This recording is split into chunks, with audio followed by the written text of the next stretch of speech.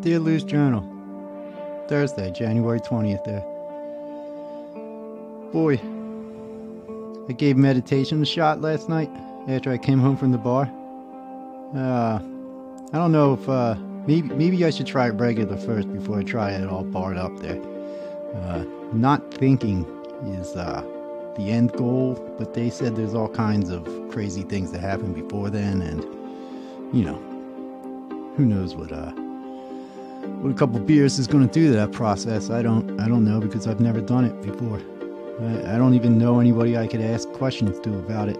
Just got this book that I got to get back in two weeks, and uh, you know, a whole lot of time.